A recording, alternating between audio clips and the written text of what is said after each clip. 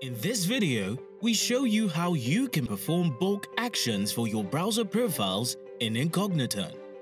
With this functionality, you can efficiently perform tasks on multiple browser profiles.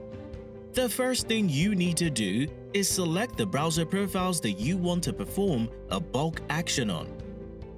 You can do this by clicking the empty box. In this case, we perform the bulk action on all of the existing browser profiles. This is achieved by clicking the option Select All. Once we do this, we launch all the selected profiles.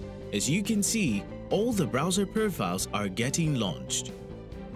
Now that this is done, we stop all the launched profiles by selecting the action Delete Selected Profiles. These two functionalities are not the only actions which can be made in bulk.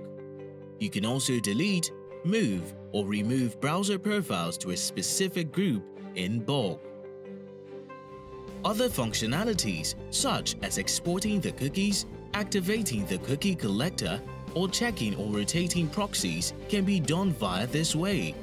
In the tab Modify, you can set browser extensions, edit browser arguments, edit proxy settings, edit the user agent, and also edit the browser version for your browser profiles. In the tab Launch Options, you can perform a force start or stop of your browser profiles. For more information about the bulk actions on browser profiles, do well to consult our Knowledge Center.